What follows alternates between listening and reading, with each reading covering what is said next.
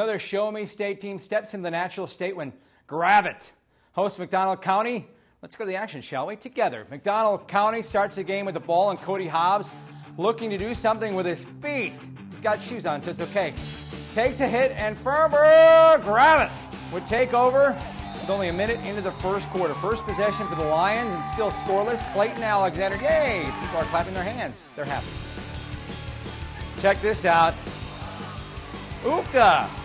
Jordan Moffett showing us that even big guys can catch. However, they can't carry it. Jeremy McGrath strips the ball and Gravette would lose it and would get it back. They would eventually go on to punt it. We'll speed up ahead. Four minutes and change left in the first half of the Lions. Third and goal to go. Clayton Alexander wanting to put some points on the board. What's a quarterback's best friend? Single coverage. Jordan Lundholm has it. TD pass, eight yard completion, touchdown, 7 nothing at that point. Gravette goes on to win 24 to 0. 40 miles south on I 40. The West Fork Tigers are hosting Farmington Cardinals. Tigers were blown out their season opener against Magazine. Looking to rebound, it's third down.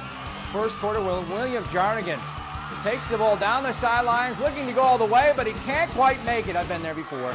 45 yards later at the eight yard line by Trey Rowe. And that would be important because on fourth and goal, the Cardinals defense tweeting comes up huge, stuffing Jarnigan at the two-yard line, still 0-0.